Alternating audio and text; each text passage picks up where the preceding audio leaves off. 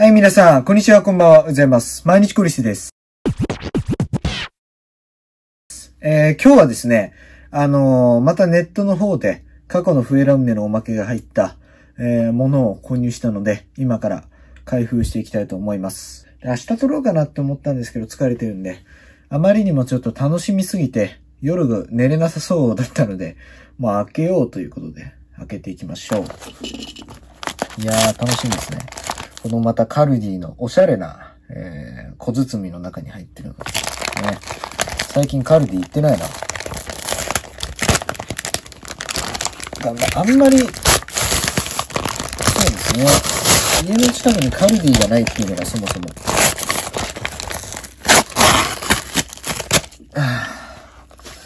高校の時は自転車だったんですけど、今大学近いんで自転車で行ってるんですけど、高校の時は駅の中にカルディあったんで、まあたまに行ってました。あこんな感じで。うわあもうちょっと見えてますけどね。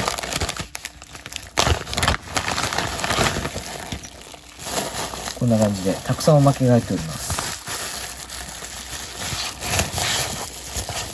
このね、プチプチがね、なかなか開かなかったりするんだよね。もう力技で。さあ、来ました。おー、すごい。これに関しては笛ラムネのおまけじゃないですね。明らかに箱のサイズより大きいので、これはなんだかよくわからないものですね。はい。箱に入らないです、これ。で、まあいろいろちょっと紹介していきたいんですけど、こんな感じですね。まずこれ。切った、カエルの鉛筆のキャップですね。以前、まあ、青色の鉛筆のキャップは、えー持っていたんですけど、この水色っていうのは初めてですね。この成型色のもの。こんな感じで、だから空洞になってるんですけども。はい。持ってない色なので嬉しいです。で続いてこちら、ニコちゃんマークですね。この色のやつも持ってないので、このおまけ自体は持ってるんですけど。で、これもまあ2005年、2006年ぐらいのおまけですかね。はい。それぐらいのものになります。とりあえず、レアなものを先に紹介しちゃうっていう感じですね。で、あとこれ。これは、そうですね。どれぐらいだろう。2000何年だ？これ。全然わかんないんだけど。これもね、もうすでに、もう、そう、3、4体持ってますね。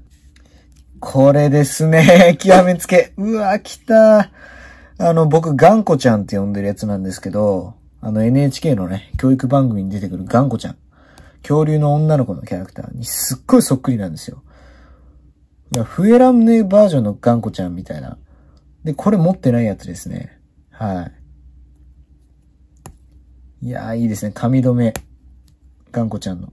これが欲しくて、もうこれ買ったみたいなもんです。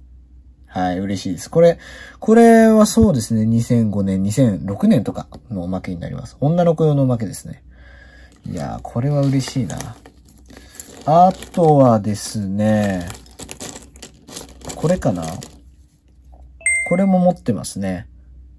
多分同じ成型色のもの持ってるんですけども、そうですね。これも結構前のおまけになります。いつだかはわかんないですけど、はい。あと、これ持ってないですね。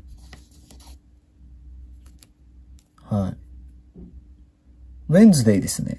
水曜日って書いてあります。へえ、これ初めて。新規ですね。これ、持ってないです。てか、これ、フエラムネのおまけ？まず。初めて見ましたけど、これ。フエラムネのおまけっぽいな。なんだろう、これ。以前に文字があるおまけは見たことあるんですけど、これ初めて見ましたね。ウェンズデー。水曜日。はい。であと廃盤してるところといえば、まあこれ廃盤してるおまけですけど、廃盤してる今紹介したおまけの中で一番レアじゃないです。これは。2012年とか2013年ぐらいまで出てたかな。結構、ここ最近まで出てたおまけなので、こここ最近つっても7年ぐらい前ですけど、そんな大してレアではないですね。今紹介した、こいつら。全然こいつらの方がレアなので、ガンコちゃんをはじめとするレアなおまけたち。ここら辺ですね。はい。ここが、もうすごくレアです。あとは特にないですかね、レアなやつ。うん。レアじゃないやつら。これパラサイトコーラのおまけとか結構入ってるんですけども、基本的に、まあ、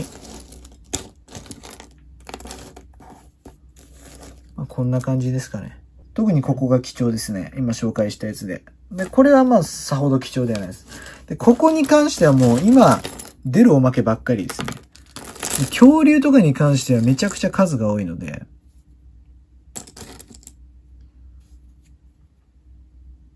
まあ、こんな感じですかね。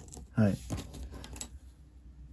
まあ、いろんな成形色ありますけど、とりあえずレアなおまけだけ紹介させていただきました。